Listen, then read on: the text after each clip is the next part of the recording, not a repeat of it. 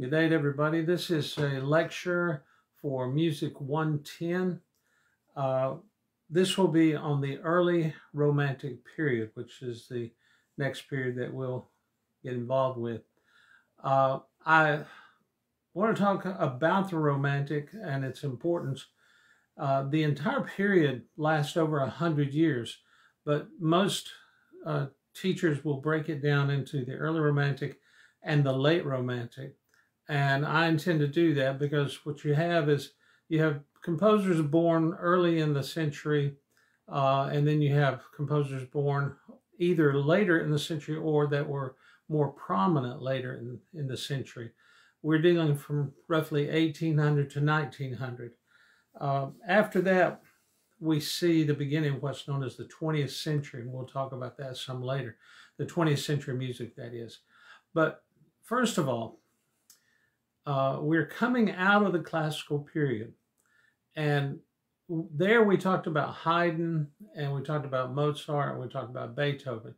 We gave most of the attention to Mozart because he was considered the quintessential classical composer. And Beethoven, whereas a lot of people, you know, prefer Beethoven over uh, Mozart, I want to put Beethoven as that bridge composer from the classical period into the romantic period because what he did that I really think was, um, I think it was his main contribution was his inspiration to future composers of the romantic.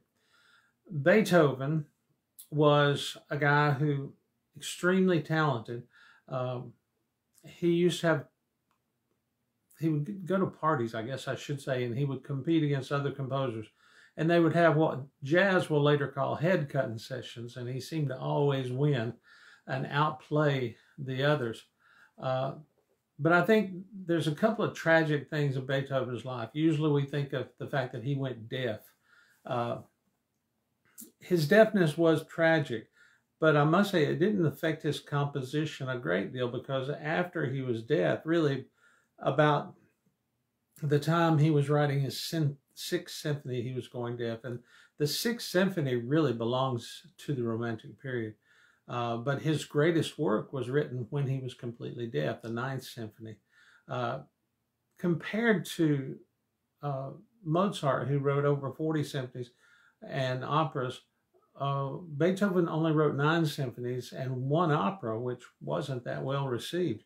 Uh, he spent most of his time doing piano works and sonatas and that sort of thing.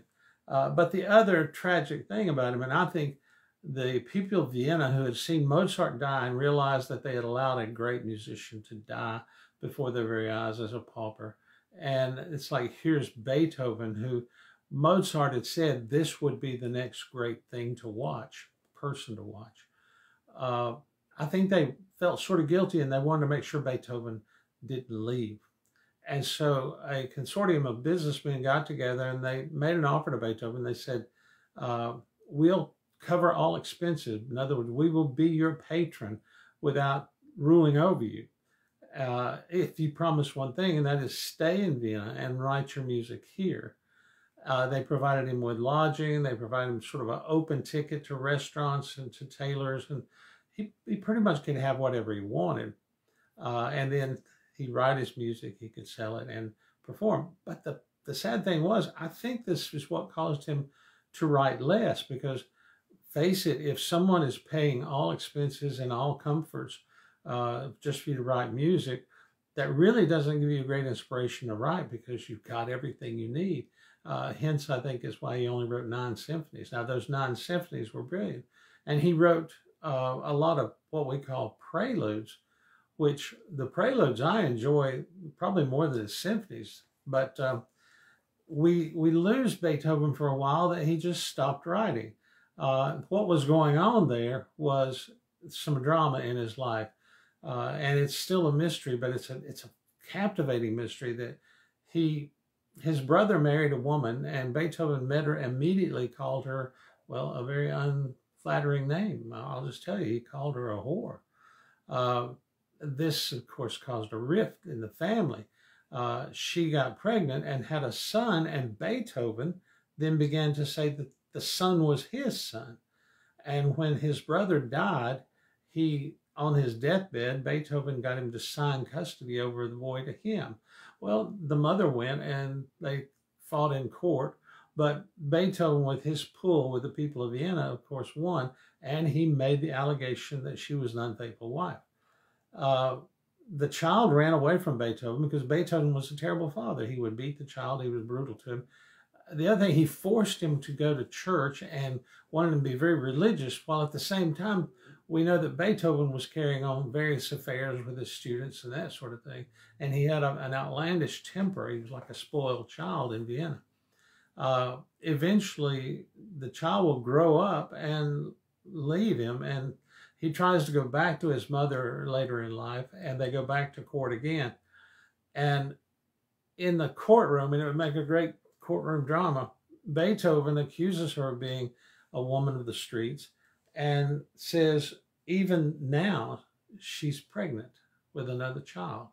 Now they put her back on the stand. They asked her, I said, Are you pregnant? She said, Yes, I am. Who's the father? She wouldn't say. Uh, but she wasn't married. So that, that just ruined her. The one of the great mystery elements of this was when the child was born, it was a girl. And guess what she named the girl? She named the girl Ludwiga. And you have to ask yourself, why? would you name your daughter after the most hated man in your life, Ludwig van Beethoven, and you name the child Ludwiga? Uh, this is called speculation. People wonder if maybe Beethoven knew her prior to the marriage uh, and to his brother. And could that child actually have been Beethoven's? And was the second child actually Beethoven? But obviously, he didn't want to be married to her. He didn't want anything to do with it other than maybe having children by her. Nobody knows. Nobody ever knows. It's just a, it's a fascinating story. But during this period where he was raising his supposed son, which was his either his nephew or really was his son, he he wrote very little. He was inspired by Napoleon, but then when Napoleon became wanted to become emperor, he lost that inspiration. Uh, he did go deaf, and like I said, he wrote three symphonies after his deafness uh, and countless other pieces. So in that respect, he he has a very tragic and yet inspiring life. The inspiration part is what he gives to the romantic composers that we're talking about. All of them were inspired. Now the other, I guess, say big contribution was Mozart was probably the last of the great composers to compose for harpsichord. He played the piano some, but harpsichord was his instrument of choice uh, Beethoven wanted to play the piano because on the piano you have a wider range of notes. Plus, by hitting the notes harder or softer, you can put emotion into it. And Beethoven was a master of emotion on the piano. And if you listen to his pieces, you can hear the the solace and somberness in the Moonlight Sonata, uh, or the power in what he's written in some of the symphonic things. Uh, Anyway, Beethoven brings us into this romantic period. Now, if you'll look at the PowerPoint and follow with me, I've put some things in here because uh, the romantic period is a lot about music. Of course, it's a music course. But to understand the music, you need to understand what's going on in society. I always tell you that. You know, music is our window into the world and to time. Uh, I start this slide presentation off with a statement that says a gradual paradigm shift in thought begins and extends for 200 years. The paradigm shift I'm talking about is the Enlightenment, which started during the classical period, is still going on. Uh, but if you remember in one of the lectures, I said history is like a pendulum, it swings back and forth. Earlier periods, it went from religion to uh, secularism, back to religion that's sort of out the window. Now we're going from emotion to logic. And the logic is the age of reason, but now we're going to swing over into the emotional age. We're going to bring with it the sonata form that uh, Mozart gave us. And music is going to be more formalized and structured, but we're going to begin to experiment with harmonies. A lot of that is due to Beethoven again. But what I'm talking about philosophically, you have Immanuel Kant, who is a philosopher. He's born 1724 and goes through 1804. So he's right at the end of the classical, into the beginning. And he talks about reason should be the basis of morality. That's just a sort of an encapsulation of his thought. Uh, some people will read Kant and they love what he has to say. Others, they argue with him. Uh, I've read some of Kant's work and I think it's pretty good. Uh, I like his ideas. Uh, and the idea of reason is something that we need to hang on to. Oddly enough, this period starts off in reason but goes to emotion. And then early 20th century comes back to reason. But now here we are in the 21st century. And if you look around philosophically, uh, pardon me, I forgot to put this on Do Not Disturb, and I just had a phone call come in. Uh, but anyway, uh, we're going back to emotion now, and we live in an age where emotion is more important than anything about how you feel and what you want to see as opposed to what you really see. Uh, the other person I mentioned is Wilhelm Hegel. Uh, he was born in 1770, died in 1831. This guy, a lot of people don't know much about him. Uh, he was philosopher, he's also a teacher. And Hegel's ideas uh, were, and by the way, he's not he's not an evil person. It's just that some of his ideas were taken by modern uh, people, particularly in Germany in the early 20th century, and I like to say they were misused to justify extremist behavior. And Hitler talked about Hegel. He thought Hegel had the right idea that uh, Germany was superior and people, certain groups were better than others. And so Hegel uh, was literally just sort of perverted. But these two guys and their philosophies will become one of the dominant things. Now, from there, I go to a page and I just talk about some of the one liners that we'll see. Like I say, from faith to reason. That started in the classical period, it continues into the romantic period where reason and thought are more important than Christianity. But that slowly changes because they go from reason to a self centered consciousness. In other words, people begin to look at themselves. Uh, and I say on down there, yeah, later on, I'll tell you, narcissism becomes the big thing. Um, this next bullet may be a little confusing, but I say, from self to being to non being, and that's a progression. You think about yourself as a reasoned physical being. And then you think about who you really are, and that's what being is. Uh, it's, you know, we are uh, a physical person, but who are we as a as a being? And that, that gets in our philosophy and our spirituality. Uh, and so they went that track. And then they get to the point of non being. And what's going on there is the idea of search for reality. What is real? And you have, I'm sure you've heard people say, well, uh, are we real or are we just a dream that someone else is dreaming and things like that? And people set forth these things. That's sort of where they're at. The emphasis on science gives way to an emphasis on supernatural things. Um, in the early part, particularly, you have this this desire to focus on the supernatural. This will be the age of seance and that will carry on through the 1800s. Um, I say here existentialism goes from the lab to the seance. In other words, we talk about existence. Existentialism talks about our existence, and now they try to move away from physical existence into a spiritual existence. Uh, people want to communicate with the other side. Uh, narcissism to socialism. Uh, Karl Marx will be writing uh, his ideas during the middle part of this. Darwin is writing during the middle part of this period, I didn't say period. Um, but socialism is will be planted in the seeds of Marxism. And they go from narcissism, which is all about me, uh, and when that begins to die out, they begin to think about the society as a whole. It's like, uh, it's sort of that humanism coming back to say, we're part of the whole. And Marx saw that and he said, well, a utopian society, which by the way is not a new thing. Remember, Thomas More wrote about utopia. Plato even wrote about the utopian idea. They, they all thought that utopia could only be achieved in a society where rather than as individuals, we work collectively together.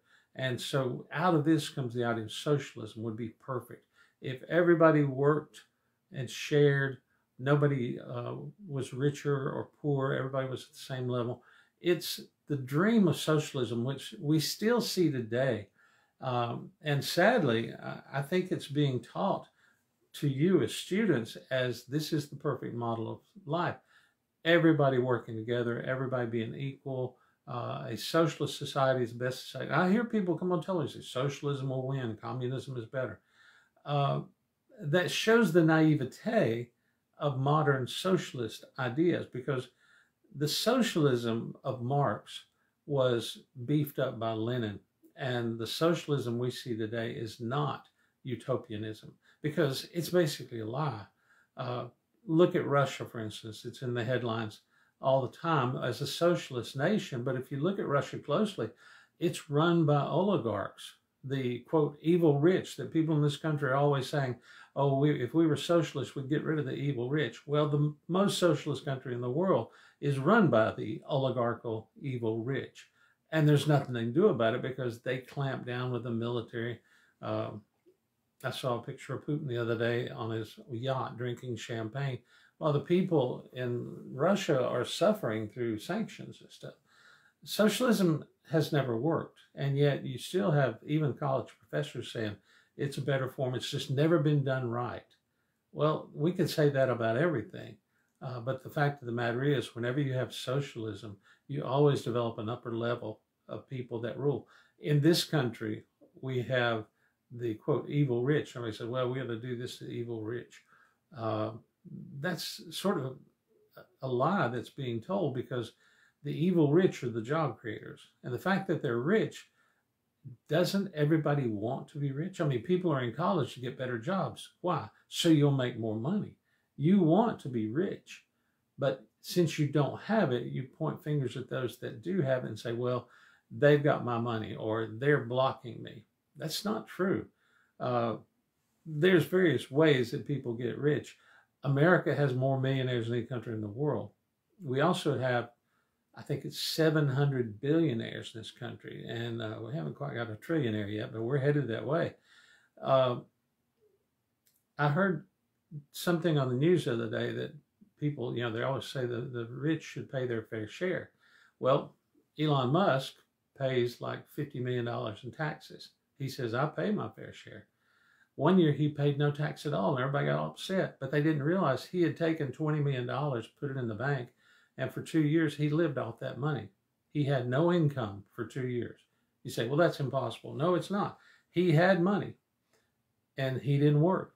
I'm like, he worked, but he made no income. So he didn't pay income tax. So everybody says, oh, he needs to pay his fair share. Well, in those years that he didn't pay income tax, he paid a corporate tax through the nose, 50 some million dollars. So it's all a political myth to say that these people are bad. Uh, meanwhile, you may not know this, but you realize that 57% of the taxpayers in this country last year paid no tax at all. They're not the evil rich. That's you and I. We paid no income tax because we took advantage of the same tax loopholes that the rich take advantage of. You know, they have the tax loopholes. Every year the politicians say, stick it to the rich. Well, I would say if you really want to stick it to the rich, take away their loopholes and they'll be paying tax. But for some reason, the politicians will not do that. This is the corporate greed that filters down into politics and everything else. We need to open our eyes. Now, I didn't mean for this to be a political speech, but what I'm getting at is in the Romantic period, all this stuff begins to ferment. It's headed toward what will be later called the Gilded Age, the end of this period where the Industrial Revolution kicks in and we'll be creating the captains of industry and they do it, you know, off the back of child labor and things like that. That's true, but we clean that up in the 20th century. But here's where it starts. Um, now, the next influence I wanted to mention, which sometimes gets skipped over, is a guy by the name of Napoleon Bonaparte. Y'all have heard of him. The French Revolution starts in 1789, and I don't know what you know about the French Revolution, but it was chaotic. It was horrible. It is in no way equal to the American Revolution, even though they happen about the same time. Uh, the American Revolution was a lot nicer in a way. The French Revolution was chaotic and bloody. It was totally out of control until Napoleon rose up in 1799, led a coup d'etat and took over the government, and he brought stability. Now, it was through a militaristic rule, and he was a military military dictator in sorts. However, in the beginning, he was looked upon as a savior of the common man, and he marched across Europe, overthrowing royal house after royal house, defeating countries. And what was amazing is a lot of the people in these countries liked it. They liked Napoleon. Uh, I mentioned Beethoven. Beethoven liked Napoleon until he wanted to become an emperor, and then he tore up all this stuff. The uh, Third Symphony he dedicated Napoleon. He called it the heroic or the Eroica Symphony. And when Napoleon wanted to be an emperor, he changed that, scratched that off that symphony. Uh, Napoleon was a disappointment to a lot of people because when it was all said and done, he saw himself as just another elitist noble after he had deposed all these other nobles. Well, Napoleon influenced Europe by basically creating the countries that we know today in Europe. He set boundaries um, and he brought a certain stability through his conquest. Uh, all that ended in Russia when he marched into Russia and could not defeat Russia and he marched out. It was a tragedy. But then when he came to Waterloo, it, it did finally end. That was his downfall. But Napoleon, you have to look at him and realize that he influenced the development of Europe uh, in ways that you know never really fathom.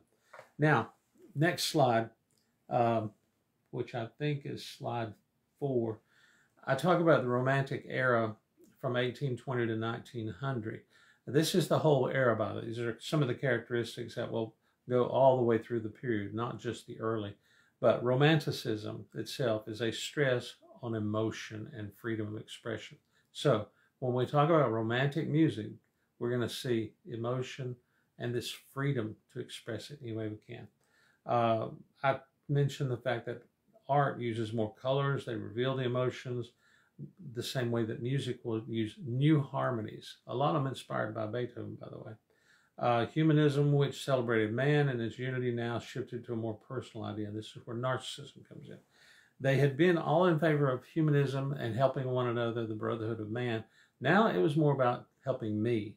Uh, I want to succeed. I want to achieve. Uh, maybe that was from Napoleon too, because these soldiers were lifted up and they wanted to get stuff and they wanted to be wealthy themselves. It, it may sound simplistic, but greed has always been one of the most motivating uh, ideas throughout history. People want other people's stuff and they go to war and they take it and we label them as evil and greedy. Uh, if you're one of the winners, though, you just say, No, I'm a conqueror and I'm going to take over. I could talk about that for a while too.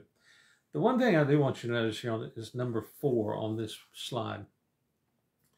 This is a literary age, but they focus on the supernatural. You may not be aware of it, but I point out here Mary Shelley, she writes the book Frankenstein during this time. Now, what is Frankenstein? Well, we know that it's a story about a monster created by Dr. Frankenstein and throws people in the well and stuff like that. The basic core of it, though, it is a sort of a perverted way of looking at man and God because the monster represents humanity and Frankenstein, Dr. Frankenstein represents God. And so it is humanity seeking the creator. That's what that story is all about. The monster leaves, and then the rest of the time he is seeking to reunite with Dr. Frankenstein, his creator. Uh, and tragically, at the end of the book, uh, the monster gets the Frankenstein and they die at the you know at the, the Arctic, uh, frozen to death. Uh, but people don't look at it that way because we just see the, the, giant with the bolts in his neck at Halloween. Um, Edgar Allan Poe is writing during this period, and his poetry, uh, not all of it's weird. We we give him this idea that his po- all his poetry is weird. It's not all weird. He was weird. He's a very odd man, uh, but he's writing. But to balance that, you'll see the writings of Walter Scott, who wrote Ivanhoe. Now, if there had been no Ivanhoe, we would have a totally different opinion of knights in shining armor.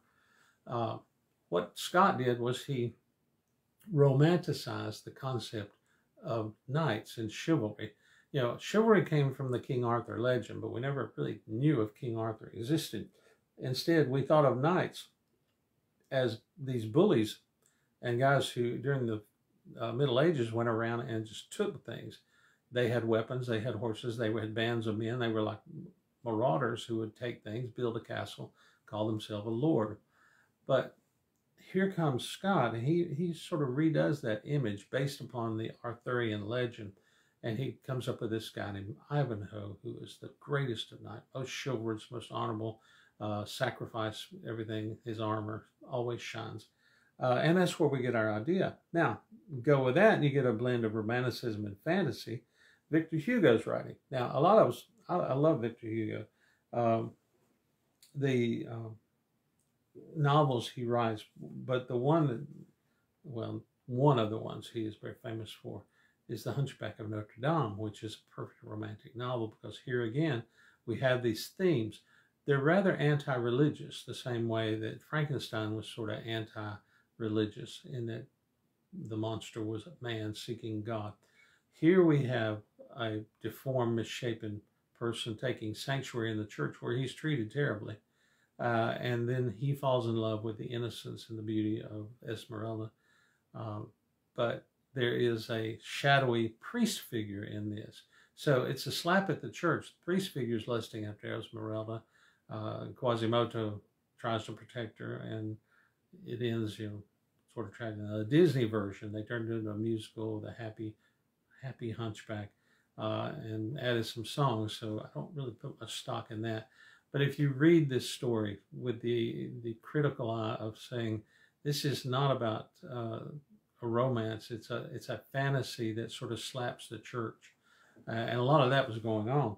Now, next, as far as our writers, is Charles Dickens. I'm sure you've read Dickens' Tale of Two Cities, Great Expectations, but his most famous novel for us is probably A Christmas Carol.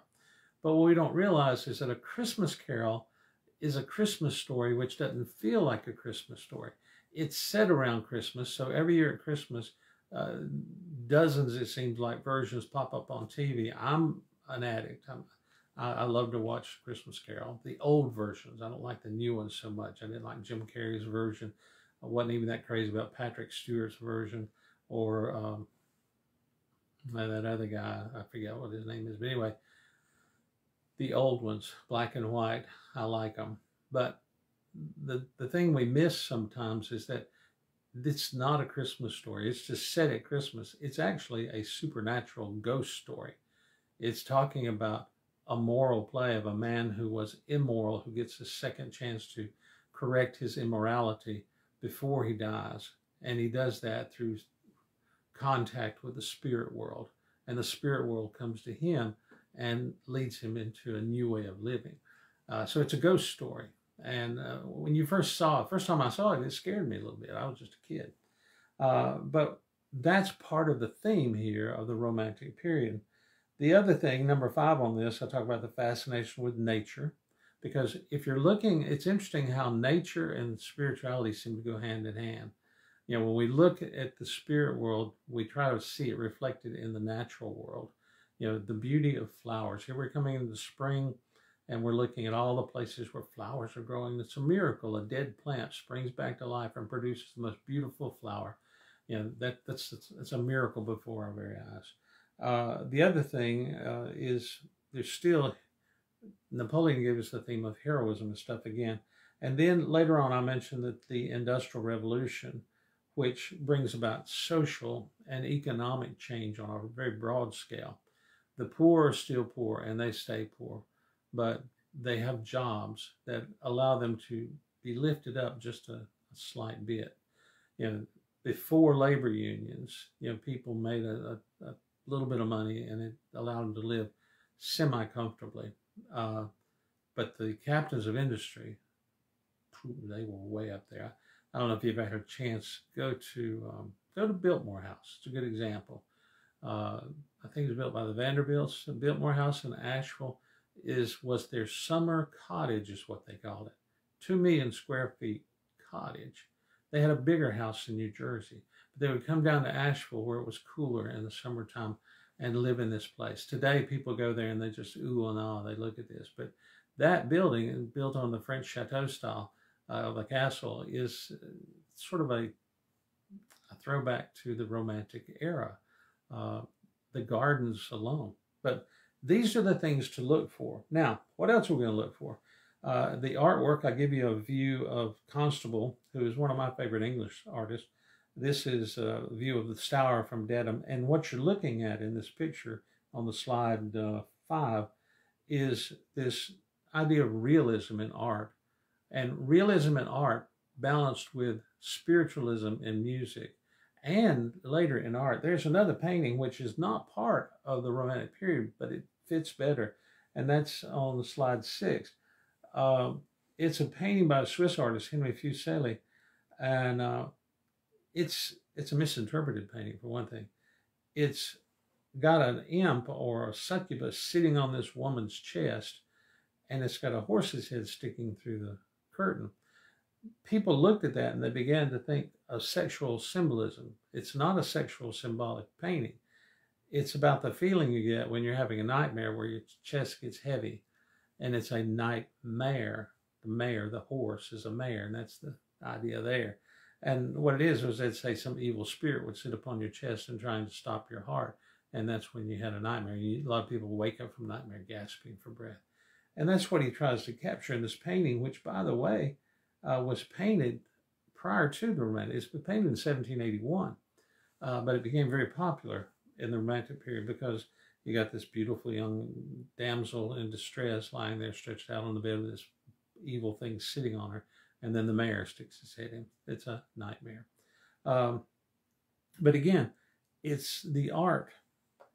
It's sort of graphic. Now, I, I, come to the part where I have a picture of Edgar Allan Poe, and a lot of folks may not know this, but Poe spent some time here in South Carolina at Sullivan's Island. And I put a letter in here because the whole thing is sort of funny. Poe, for some reason, joined the army and he was stationed on Fort Moultrie there on Sullivan's Island. If you go to Sullivan's Island, uh, you'll see Poe hats everywhere. They got a raven on them. Some of them are black with a raven, or some of them white with a black raven. Uh, there's a little restaurant there. I grabbed a sandwich at one day, and they had all this Poe paraphernalia all over the walls. Uh, and then you visit Fort Moultrie, uh, and uh, Sullivan's Island, a nice place.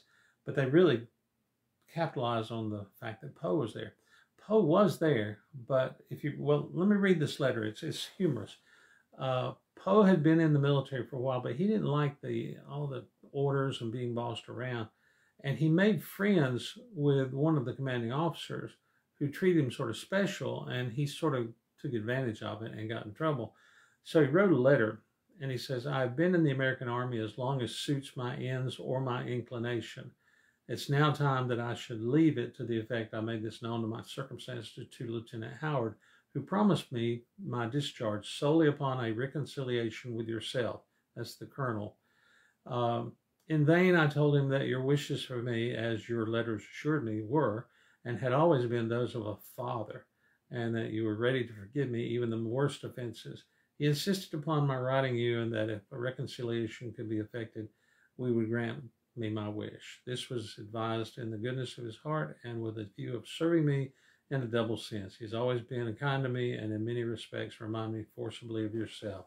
This is a smoozy letter to the colonel, uh, who he had gone to his house, supposedly to party, and offended some of the guests. And so he was no longer, he was persona non grata with the colonel. So now he wants out. And the lieutenant says, Well, if the colonel lets you go, I will discharge you. So he wrote this letter saying it's time for me to leave. Uh, it, it's it's humorous to think of how naive he is, thinking, "Well, I joined the army, I didn't like it, so I'll just go. So let me go." Uh, what's even more humorous, they did let him go; they discharged him.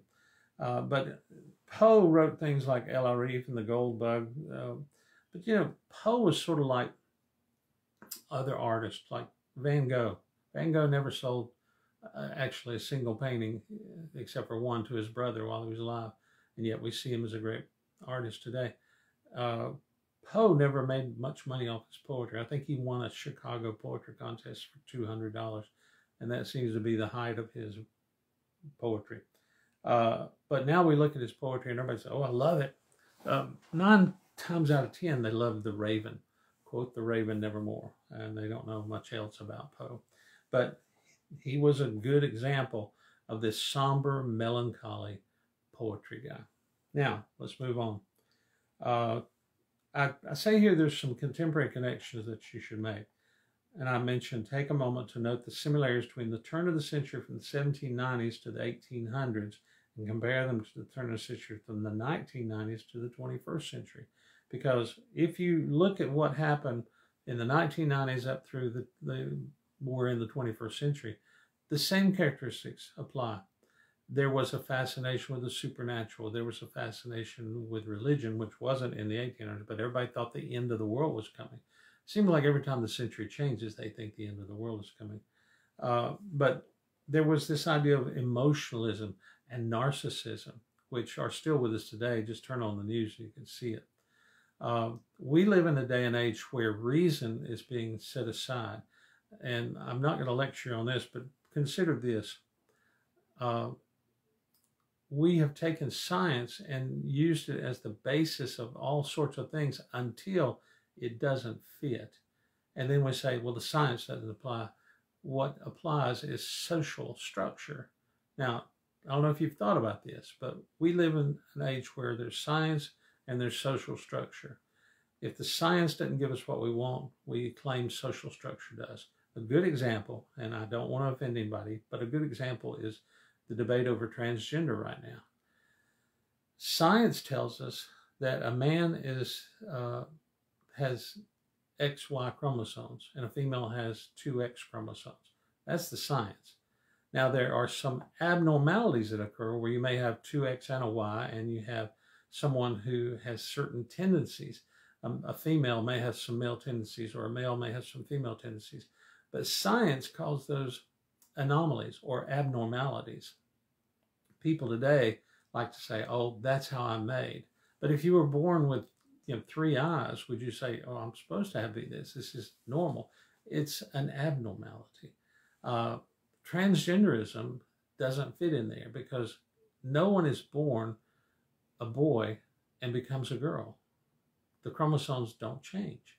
So science doesn't fit. So they just scrap science. Now they go to social uh, identities and social or cultural things, and they say, well, I identify myself as this. Well, that's fine. You can identify yourself however you want, but truth is the, the standard. If I were to tell you right now that I identify myself as a 16 year old girl, you'd laugh. Now, some people say, oh, well, I'm going to call you a, a she or whatever pronoun you want. We're in this debate. But the science tells me I'm not a 16 year old girl. I'm a 69 year old man. And I still got my XY chromosomes. I didn't get two X's and I didn't revert. Uh, it's interesting how everybody wants to say, well, I can change my gender, but I can't change my age. You know, but they're both on the same continuum. Uh, I can't tell everybody I'm 15 years old. They would just look at me and say, well, man, you've had a rough 15 years. But think about that because that's what we're doing now. The similar things, not as far as sexuality, was going on in the uh, Romantic period as people began to take certain, I guess you say, leeway with fact because now they want to go into the spiritual realm. Uh, God becomes less relevant as they say, well, I want to talk to this spirit or that spirit. And you had people popping up to take advantage. Um, there was an interest in individualism, personal wealth, greater access to information and technology, fascination with supernatural. All those characteristics come from the 1800s, but every one of them could be applied to the 21st century. Individualism, personal wealth, access to information.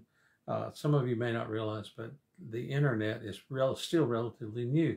It wasn't in homes until around 96 is when it became more common. Uh, you could get an Apple computer uh, way back there, but usually those were consigned to classrooms and to libraries where you just did stuff on a floppy disk, for those who remember what that is. then you had a personal computer make its appearance. Uh, 8 inch screen, 5 gig of RAM, a real hustler. But today we have computers. This computer I'm looking at right here uh, is faster and more powerful than any computer up before the 2015. Uh, but now we're getting more, but that's beside the point. the next slide is about musical characteristics.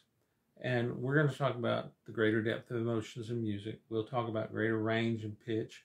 Uh, music is even closely linked to art and painting. The stress on individual style, you'll see that everybody has their own style. And then you have tonal pictures. Now, there's a thing coming in this. Before we had uh, word painting way back there. This is going to take a new shape of tone painting to where they write harmonies to reflect what's being said. And, you know, it's not just notes going up and going down to reflect going up and. Now it's going to be harmonies. Minor keys are very popular. You'll hear that in the story song called the Erlkönig. Uh, you can listen to that. I've got a sample of it. Nationalism, patriotic things popular. And then here's the biggie program music. What is program music? Program music is music that is used to describe a story or an emotion, something in nature. I think I gave you the example of Smetana's The Moldau. I don't know if it's, it may not be in this sample, but it'll be in the next one. Program music is literally where you try to reflect what's going on in nature. I mean, if I were looking out the window at the trees and stuff, I'd try to write music that made people think of that. And it's it's sort of a psychological thing where if you're see like Schubert will write a symphony called The Trout. And in that he tries to portray a fish jumping. I have to decline that. I'm sorry, I've got another phone call coming in. Uh, but Moldau writes one on a river and it's amazing how when you listen to it, you can literally see the stream become a river and the crashing waves. You, you hear all that. It's, it's a brilliant piece of music. But program music is all sorts of things. Uh, Beethoven's Sixth Symphony was considered programmatic. His Third Symphony was a little bit too. Uh, with that, we have more colorful harmonies. We have things called chromatics, which I'm not going to try to explain to you. But you get all these weird chords. Then there is the ranges, the tempo, everything like that. Now, the next section, I have chosen uh, five, let me look at that again, five uh, composers that I want you to be aware of. And these are the early Romantic composers, the Franz Schubert, Hector Berlioz, Felix Mendelssohn, and Frederick Chopin. Uh, I'm going to just go through these briefly for the sake of time, but you can read a little more about them in this. Schubert will be famous for his songwriting. In German, a song is called a Lied, and he writes all these beautiful songs. He wrote over 600 pieces of music that includes symphonies and lots of Lieds and things like that. So he rivaled Mozart as far as his output of music. He's in Germany. Now, in France, there's a guy named Hector Berlioz, and Berlioz will write what is called the Symphonie Fantastique, and he dedicates it to Harriet Smithson. And there's a tragic story in all of these people. Schubert's tragic story was that he wanted to be a member of the Royal Guard, but you had to be six feet tall, and he was only five two. So they laughed at him.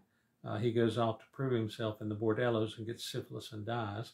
Uh, Berlioz wants to marry Harriet Smithson. He sees her in a play. He writes a symphony and dedicates it to her, and she never speaks to him until she comes back to France, finds out this guy's written a symphony, and she just goes gaga. She meets him and they they get married and live happily ever after for two years and then she realizes she liked the music better than the composer and they got a divorce. Uh, felix mendelssohn it's not too tragic other than the fact that he was a classical style composer in the romantic period. But what he does do is he rediscovers uh, johann sebastian bach's music which had been lost for a period and he pulls it out and gives us bach. We would have not had bach if it had been for this guy and that's sort of his claim to fame and then there's Frederick Chopin, who is a Polish slash French composer. And his tragic story is he wrote some of the most beautiful music, but he wanted to be a virtuoso performer. But he wrote music that he even struggled to play himself. Other pianists would come in and play his music, and they think that's the most brilliant stuff we've ever heard. And he got with a guy named Franz Liszt who tried to help him be a better pianist and couldn't. But Chopin helped Liszt become a better composer, which he did become a better composer. But Chopin's sad story was that um, he fell in love with a woman who was an author. She couldn't get her books published, so she wrote under the pseudonym of George I think it was George Sand, who was a man. When they saw it was written by a man, they published it. She was very successful, but she could never tell anybody that she was actually a woman. And so there's, I'm trying to think, on one of these slides, I'll show you a picture of her. Yeah. Um, it's on slide 17. You'll see her. Uh, she published her books under the name of George Sand. And what was sort of weird about it was Chopin used to take her on dates and he would say, well, you know, who's your lovely, you know, woman here? He would introduce me. He said, but I'm actually in love with George Sand. And that got people thinking Chopin was gay because he says, I'm in love with George Sand. They didn't know he was making a joke about her because she wrote under the name of George Sand. Uh, they, I don't think they ever got married, uh, but she stayed with him even to the point where he, he was dying of tuberculosis. But that was just one of the many odd and sad stories of this period. Uh, now, after that, we talk about Robert Schumann, his wife Clara, which is another sad story. Robert Schumann was another composer who wanted to be a virtuoso performer, but uh, his hands wouldn't let him.